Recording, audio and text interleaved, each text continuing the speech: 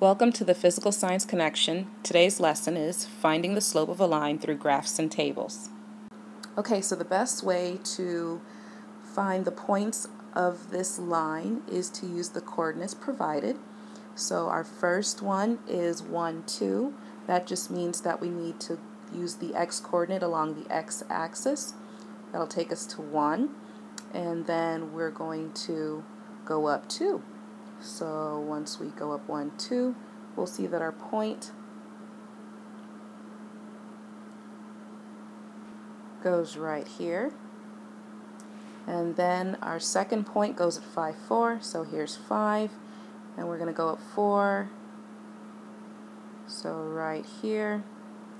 And now we're going to try and draw a very straight line from point A to point B. And now it's time to find the slope. Remember that slope is rise over run, and the rise simply means how far up in this case do we need to go, and how far over to the right do we need to run in order to find the denominator. All right, so if we go up, one, two, Our rise is 2. We go over one, two, three, four. Our run is 4. So we'll put our 2 in the numerator. Our 4 goes in the denominator. Again, because the 2 represents the rise and the 4 represents the run. As you can see, the rise over run can be reduced to 1 half, so m, which stands for slope, equals 1 half. And since the line is moving in an upward direction as I go from left to right, then I can say that this is a positive slope. Alright, so it's your turn to try. And what I want you to do here is use these two coordinates in order to plot the two points on this graph in order to find the slope. Go ahead and pause the video here and then when everybody's done, uh, resume the video and we'll find out the answer. Okay, so let's look at the answer to the problem that you just received. So you had to find the first point, which was 3, 2, and that's here. And then your second point was 5, 0, which is here. Remember your x-coordinate, you start on the x-axis first, and that was the 5, and then you didn't have to go up anywhere because your y-coordinate was 0. So now we have to connect the dots. When we connect the dots, our line is moving in from left to right in a downward fashion. That's important for later. In the meantime, we need to find the slope. Again, the slope is the rise over the run. So, when we look at this line, it has a rise of 2 and it has a run of 2. So the slope equals 2 over 2. Are we done? We're definitely not done. So now when we look at that, we can reduce the 2 over 2, which is the same thing as saying 1. However, we're still not done. There's a critical piece here. As I said earlier, you're from left to right, your line is moving in a downward position. If it's moving in a downward position, then you know that your line has a negative slope.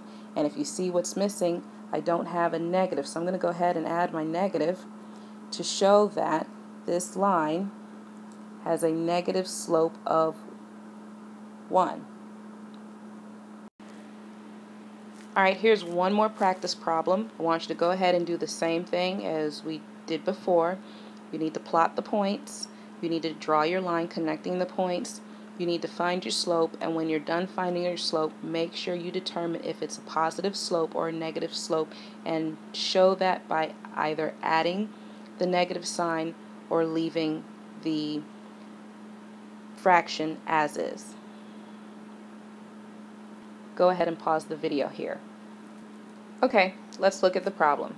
So we had to plot the two points 7, 3. Move over 7, go up 3. That's the first point. For the second point, we need to go over to 5 and then go up to 4 and so we have our two points we connect the line once we collect the, connect the line we have to look for the slope again slope is the rise over the run so when we look the rise goes up 1 and the run goes over 2 1 2 so our rise is 1 over 2. There's no need to reduce because it's already in simplest form. However, are we done? We're not done. Our line, let's look at it, from left to right, it's moving in a downward fashion. So this means that we have to have a negative sign. So I'm going to go ahead and rewrite this because that is not correct. Correct way should be negative 1 over 2. Must have that negative sign to represent that this is a negative slope on this line. So now you know how to find the slope by using two points on a graph. Now how do you find the slope by using a simple table? First thing I want you to do before we get started is to look at this table and answer this question. What do you notice about the values in each row? Go ahead and pause the video, share some answers, and then hit play when you're ready to continue. So when you looked at the x values, you should have noticed that they, from one to the next, go up by one. in each case. However, when you look at the y values from one to the next, they go, they change by 2, but it's not a positive change, it's a negative change.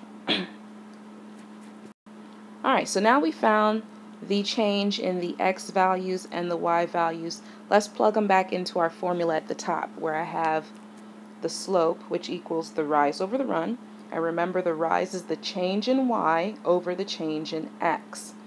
So when I look at the change in y, the change in y is negative 2 over the change in x, which is just 1. So our slope for this particular line would be m equals negative 2. Another way to say this is that this line has a constant rate of change of negative 2. Here's one for you to try on your own. Go ahead and look for the rate of change. Determine the slope if there is a slope and make sure you write your final answer. Once everybody is done, then resume the video so that I can go over the answer with you. Okay, so let's go back and look at your answer. Um, or rather, before you got your answer, if we look at the x values, we see that there is a change of negative 1.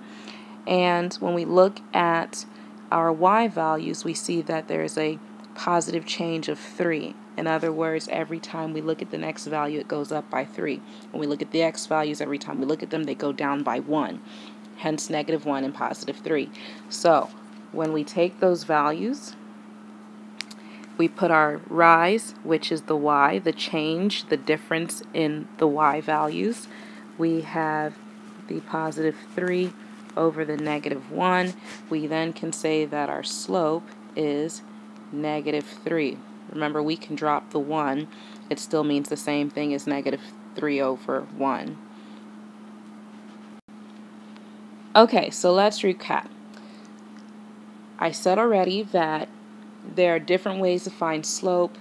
In this particular video, I've shown you two of the several ways. The first way we used um, two points.